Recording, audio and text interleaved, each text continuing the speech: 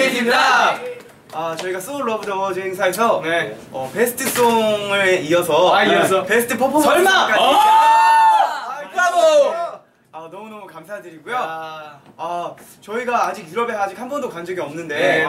어, 기회가 되면 거기서 여러분들 공연으로 만나 뵀으면 너무너무 좋겠습니다. 너무 좋겠습니다. 어, 좋은 상 주셔서 너무너무 감사드리고요. 항상 멋진 모습으로 보답하는 인피니트가 되도록 하겠습니다. 하나 둘 셋. Thank you!